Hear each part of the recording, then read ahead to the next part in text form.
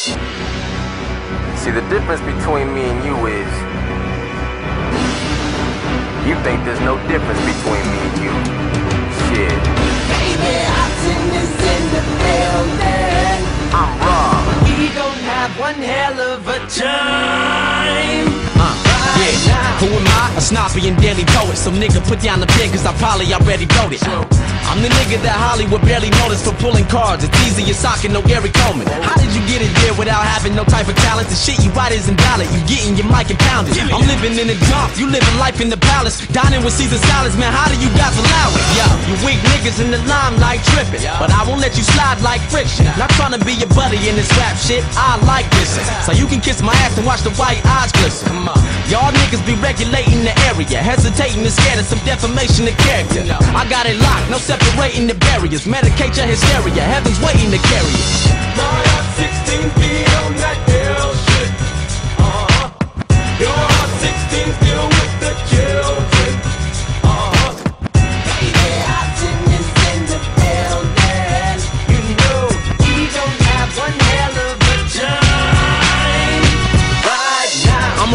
Kick it with the beginners. Then when I whip up for dinner, it's been up on my agenda.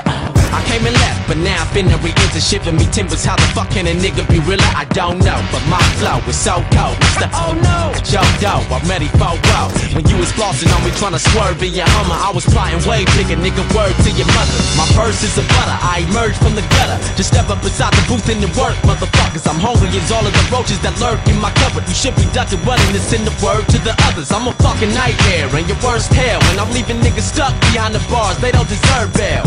You see, whackness doesn't sit on my nerves well. You couldn't bust with a dick full of sperm cells.